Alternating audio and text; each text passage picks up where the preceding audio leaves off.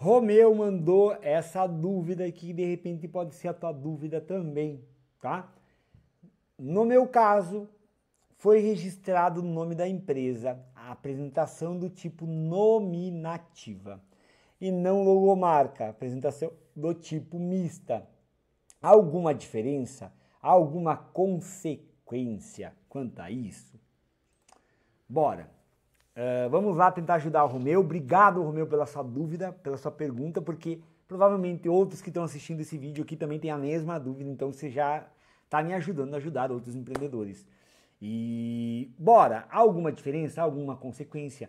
Num primeiro momento não há consequência nenhuma, tá? Se você registrou a tua marca somente nominativa, vai estar protegido o nome, é uma das principais formas de proteção, é seguro também, só não vai estar protegida ela no conjunto marcário, né? Não vai estar protegida a logomarca, o desenho.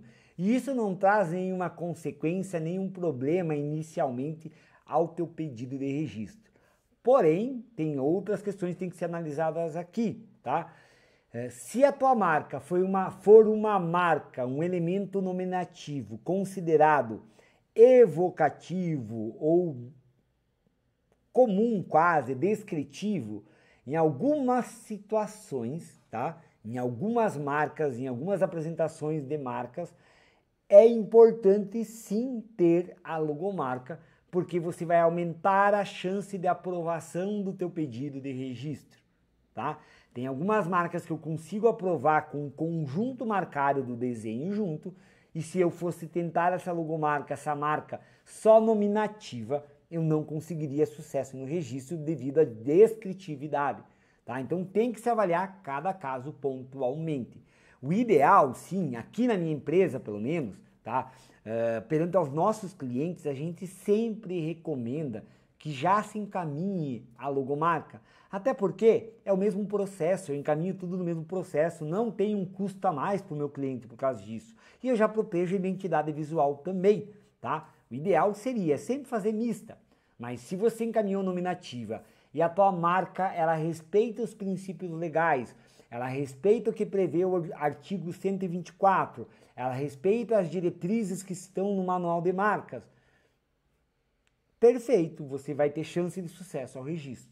Agora, se você não estudou o manual de marcas, não estudou o artigo 124, não estudou a lei de propriedade industrial, enviou uma marca nominativa sem ter esse conhecimento, você tem uma real chance de que o nome que você está registrando pode não ser não estar em acordo com o que está previsto na legislação e você pode, você tem uma probabilidade, probabilidade sim de ter uma marca indeferida, como acontece com muita frequência, e isso pode te gerar dor de cabeça, tá? Então o que eu digo aqui para você que está fazendo sozinho o processo, se você está encaminhando uma marca só nominativa, é importantíssimo você estudar o manual de marcas, o artigo 124, tá?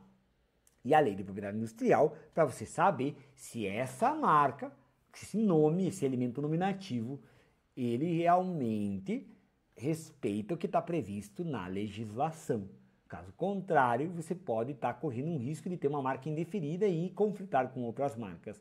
Ok? Beleza? Fez sentido até aqui? Comenta abaixo se você tem algum problema, alguma dúvida relacionada a essa mesma questão, que a minha equipe ou eu vamos escolher as melhores perguntas e pode se tornar mais um vídeo aqui no canal, tá? Mas antes também, eu já vou mostrar para você algumas dicas onde você pode aprofundar mais conhecimento. Vou falar já já aqui também, tá? Uh, sobre o que é marca nominativa, o que é marca mista, o que é marca figurativa, que também foi uma das dúvidas aqui que o Romeu colocou, qual que é a diferença, né? Vou mostrar para vocês, tá? Então, Fica comigo aqui que eu vou mostrar. Antes eu quero te pedir para que você se inscreva no canal, dá um gostei nesse vídeo. Se quiser compartilhar esse vídeo também é importante, mas dá um gostei aí, se inscreve. Enquanto eu dou uma pausinha para tomar água, vou esperar você aí se inscrever e dar um gostei nesse vídeo, que é a forma de retribuir o meu conteúdo. Tá? E mais um ponto, aqui no, aqui no meu canal você encontra mais de 1.500 vídeos publicados que podem ajudar você a entender mais. Então maratona esses vídeos, aprofunde mais seu conhecimento. Você vai ver que até alguns vídeos o Agnaldo está sendo mais rígido, cobrando, te chamando a atenção, Porque a minha maior preocupação é que você tenha sucesso e possa proteger o sonho, o teu sonho, a marca que representa esse sonho, né? Essa é a minha preocupação. E muitas vezes eu fico indignado, sim, fico indignado que você que não pode contratar uma consultoria para fazer por você, você não faz a tua parte, não estuda o manual, não busca a lei e quer ter sucesso no registro. Entende?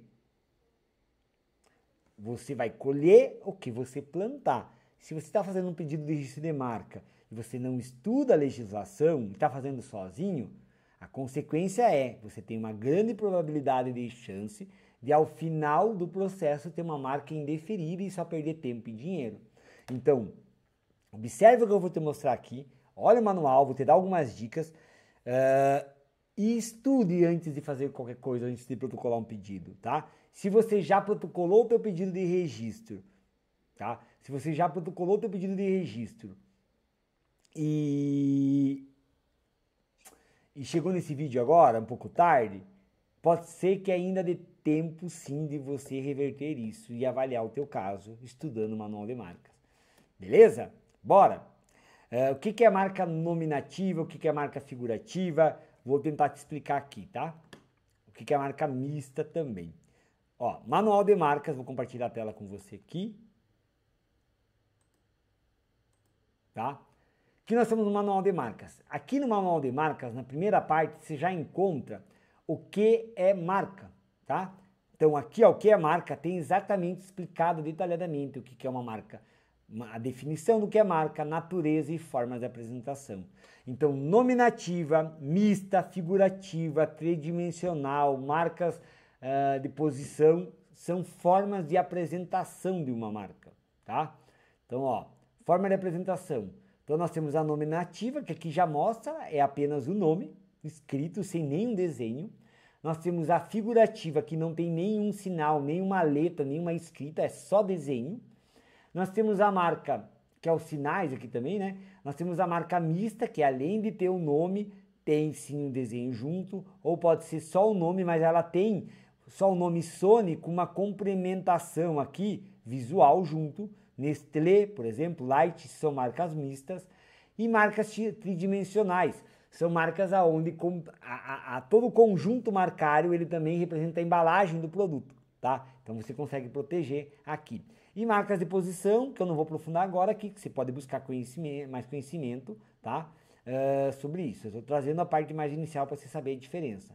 Então vou mostrar aqui no meu, no meu tablet, tá? O que, que é então para você comparar? Marca mista. Se eu pegar uh, marca X, tá? Marca nominativa.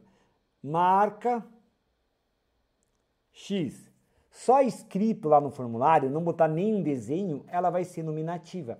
Agora, se eu pego e escrevo lá, crio um designer e escrevo lá marca,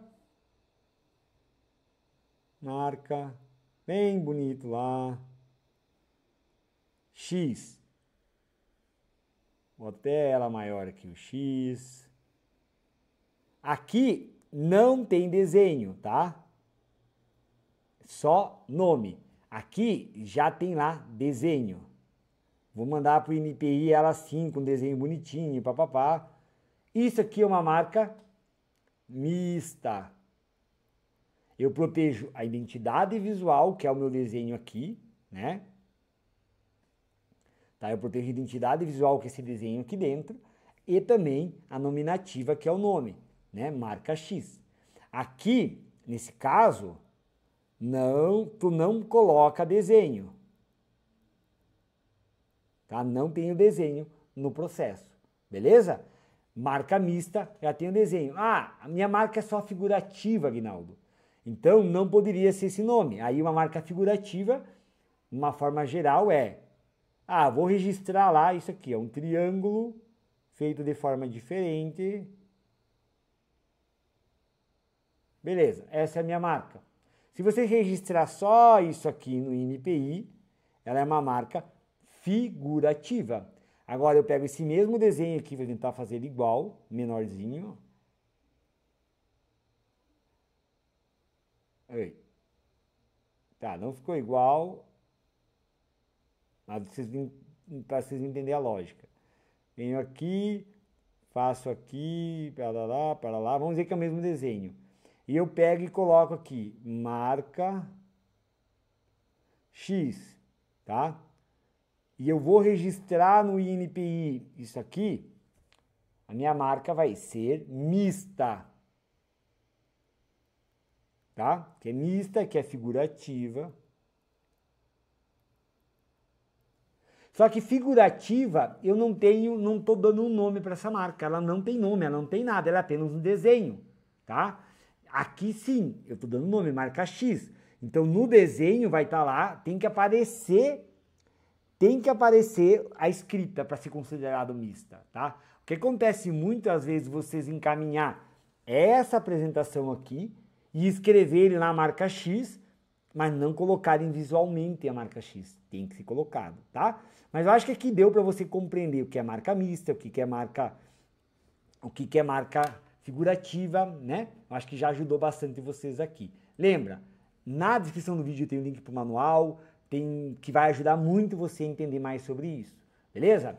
E é o seguinte, se você ainda tem alguma dúvida e não tem, com, e, e não tem condição de contratar assessoria minha ou de qualquer pessoa, o único caminho, não tem desculpa aqui, é estudar o manual, tá? Estudar a lei. Lá tem tudo dentro do site do NPI para te ajudar, tá? Caso contrário, como eu já falei em outros vídeos e falei aqui, eu posso te ajudar. Se você quer um, a minha atenção para o teu caso, para a tua marca, para o teu processo, na descrição do vídeo também tem o link que você pode falar diretamente com a minha equipe e contratar os meus serviços para cuidar do teu caso e evitar dor de cabeça, tá? Você tem poder de decisão, você pode maratonar os meus vídeos aqui no canal, que eu ajudo muito você, gero muito conteúdo, como também se você optar em ter o meu assessoramento para o teu caso, isso é um serviço pago, daí não é gratuito, tá? A minha equipe pode cuidar do teu caso e a gente ajudar você a ter sucesso no teu registro de marca. Beleza? Gente, era isso. Até um próximo vídeo. Tchau, tchau.